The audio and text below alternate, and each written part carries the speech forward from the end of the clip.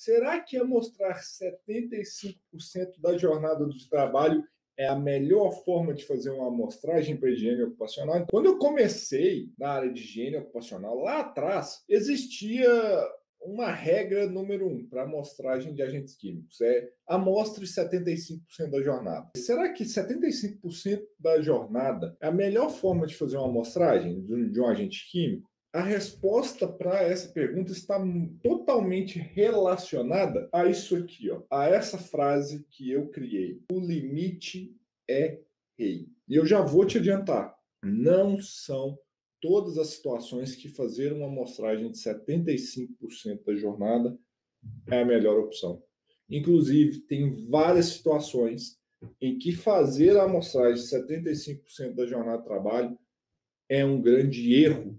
Você está cometendo um equívoco muito grande e está comprometendo seus resultados. O que, que a gente tem que pensar nessa questão dos 75%? Isso virou na boca de todo mundo e virou falando sobre ah, tem que mostrar 75% da jornada, a amostragem de ruído tem que ser 75% da jornada, e pá, pá, pá, e fica essa questão de uh, ah, 75% da jornada. Que raios que explica isso, gente? Pelo amor de Deus. Da onde que a gente começa a ter embasamento para isso? E aí, o pilar simples para explicar 75% da jornada é o limite é rei. O limite é rei por que, que essa frase é tão importante e eu, quando eu criei ela? Pensa assim, o rei é o que manda na parada. Então, o rei é a autoridade máxima. Então, a primeira coisa que você tem que entender antes de fazer uma amostragem, sim, é básico. Antes de você começar a fazer qualquer coleta de agentes químicos, é entender quais os tipos de limite de exposição ocupacionais se aplicam a uma determinada substância. Não é sair coletando a amostra e vai ah, 75% da jornada e pronto, acabou e vai igual um maluco desembestado coletar a amostra, não. Você já parou para pensar qual o tipo de limite que é? É um limite do tipo média ponderada no tempo ou é um limite do tipo de curta duração? Simplesmente parou para pensar ou você nem sabia o que era isso? Porque a primeira coisa, se você não sabia o que era isso, é passar a entender que existem esses tipos de limite. E cada um é para uma coisa. Então a primeira coisa que a gente tem que entender é isso. O que mais que a gente tem que pensar dos próximos passos sobre essa área? Então você já entendeu que o limite é rei, o limite que manda.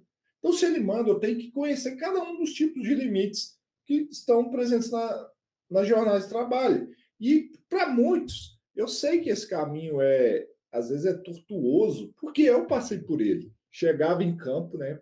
Liga no laboratório, manda um e-mail para o laboratório, faz uma cotação dos agentes químicos. O laboratório manda aquela planilhona lá, com vazão, volume, o tipo de amostrador. Aí você vai para campo para fazer a amostragem. Aí você chega em campo lá, você começa a olhar para aquele negócio assim, nossa, quanto tempo eu tenho que coletar essa amostra? Qual vai ser a vazão? Qual vai ser o volume? Começa a fazer conta lá. Você fala, quanto tempo que eu tenho que coletar, hein? Será que eu vou coletar duas horas, três horas, 75% da jornada? Quem nunca parou? Eu, eu tinha essa dúvida pra caramba. Antes de dominar os agentes químicos, eu ficava nessa perdição. E o pior, né? Às vezes eu ia prestar serviço numa empresa e o cara chegava para mim, ah, principalmente quando era um SESMIT, alguma coisa assim, a, o pessoal chegava para mim, assim, Leandro, é, Quanto tempo você vai coletar essas amostras? Quanto tempo tem que deixar essa bombinha ligada no funcionário? E às vezes eu travava. Então, a primeira coisa que para você trabalhar com agentes químicos e entender que limite é rei, é saber os tipos de limites que existem. Então, a primeira coisa, você tem que entender que existe um tipo de limite que ele visa prevenir danos podem causar no corpo, né, ou exposições a substâncias que vão causar danos no longo prazo devido a exposições crônicas consecutivas, repetidas, dia após dia, que é o limite do tipo média ponderada no tempo, no qual nós estamos preocupados com a média da exposição do trabalhador na jornada de trabalho.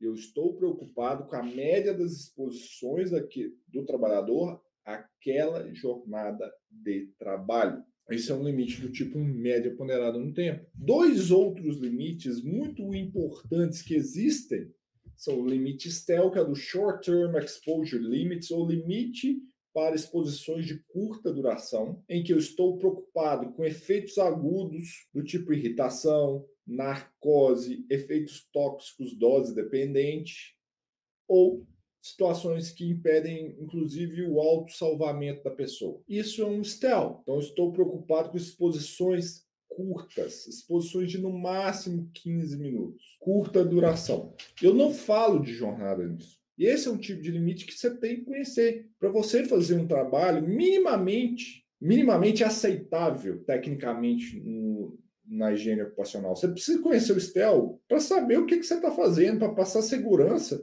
daquilo que você faz. E aí, tem um outro limite que, inclusive, está presente na NR15, que é o limite teto, que, por incrível que pareça, quem escreveu a norma não explicou o que era um limite teto na NR15, que é o que? São exposições que, de curta duração ou exposições que podem causar um efeito no corpo da pessoa instantaneamente, do tipo irritação física. E esse é um limite do tipo teto.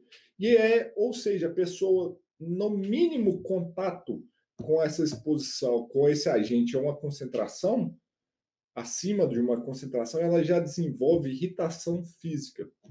Então, o mínimo que a gente tem que começar a entender é isso, para não começar a fazer besteira na hora de fazer a amostragem de agentes químicos. Se vocês entenderam isso, entender que limite do tipo média ponderada no tempo é, é para jornada, se você entendeu que limite de exposição é, do tipo média ponderada no tempo, ou TWA, é para a jornada de trabalho, porque ele prevê efeitos crônicos, exposições repetidas ao longo dos dias, para daí um tempo aparecer um efeito. O que, que você vai entender? Quando se fala em 75% da jornada em amostragem, eu estou falando de qual tipo de limite?